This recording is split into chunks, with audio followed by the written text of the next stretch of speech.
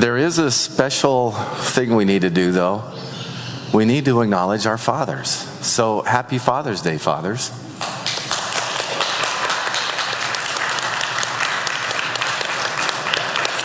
Let's, let's have a prayer for the dads among us. Let us pray.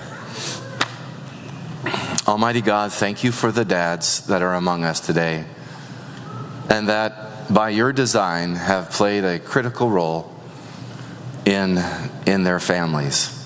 It's not easy to be a dad. And yet, it's one of the most important ministries that we can carry out that shape lives for all of their lives. And so, Lord, we ask your blessing upon all the dads. And, and thank you, Father, for being the ultimate Father of us all. And thank you for our big brother Jesus, who redeems us from the foolish ways of our fathers and grows us up in grace, mercy, and love.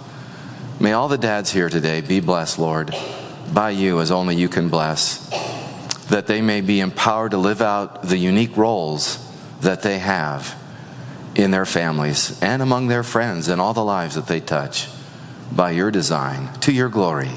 Father, Son, and Holy Spirit. Amen.